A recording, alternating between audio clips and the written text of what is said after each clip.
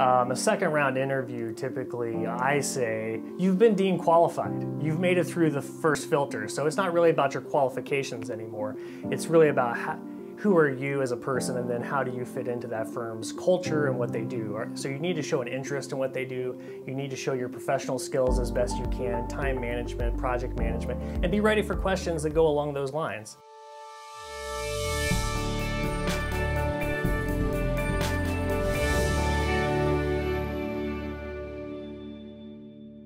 Typically you get to go to the, the office of, of the company you're, you're looking at, which, which is interesting. You get to kind of get a feel for what the uh, work environment's like or the culture.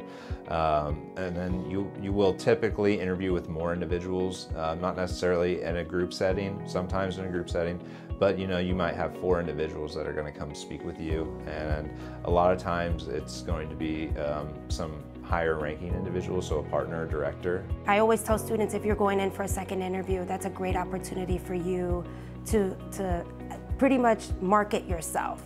So definitely hone in on what your skills are and how your skills are aligned with the position that you're applying to.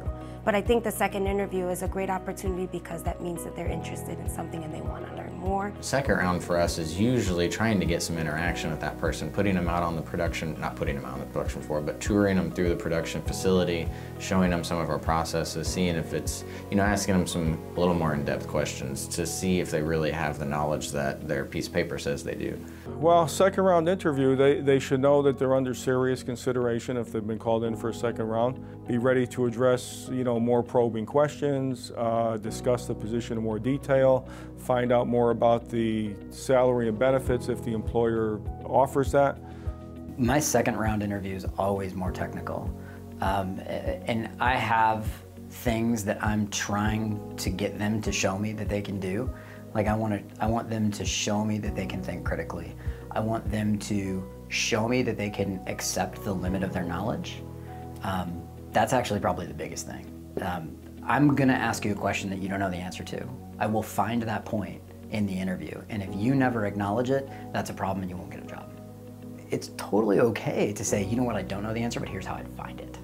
What we see as the, some of the biggest mistakes from round one to round two uh, is not bringing any new knowledge, right? You've got to learn some things and ask the right questions in the first round and bring those to the second round.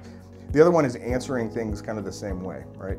Uh, if, uh, if you're going to have kind of every answer be tailored to, to one idea or one thought, and you don't grow and have anything to expand on that in the second round, it can really hurt you. The biggest one that comes to mind there would just be kind of inconsistencies.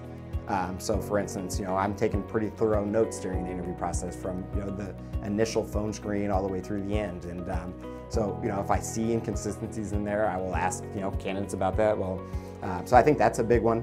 When people come toward the end of, end of the process and they're just not prepared, they're not asking good questions, um, you know, it's, it's kind of a turn off to the companies because it doesn't seem like that person's really interested. Um, and a lot of times when, you know, folks are just taking a job to take it, they're probably not gonna stick around too long.